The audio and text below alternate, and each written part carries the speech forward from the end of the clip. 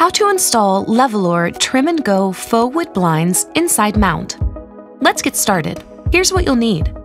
Metal tape measure, pencil, flathead or Phillips head screwdriver, drill with 1 8 inch bit, a ladder or step stool if needed. Unpack your blind. Remove and set aside included brackets and hardware from head rail. For blinds 31 inches and wider, one or more support brackets will be included. First, measure the headrail width and mark the bracket placement inside the window frame. If support brackets are included, position them evenly across the frame. Be sure support brackets do not interfere with ladder cords. And drill your pilot holes. Then, install each bracket using two of the supplied screws.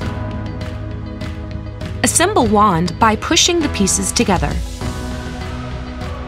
Insert wand into the head rail. It will click into place. Then, insert the end caps in the bottom rail. Next, prepare the valance. For 2-inch blinds, attach the valance clips to the back of the valance by holding them parallel and inserting into the channel before rotating 90 degrees to secure.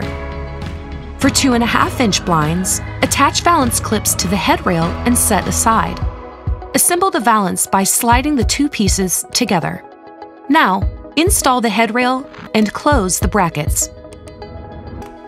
You can now attach the valance. For 2-inch blinds, clip the valance and attached clips to the headrail. It will click into place. For 2.5-inch blinds, clip the valance onto the valance clips. If desired, add included valance end caps for a finished look.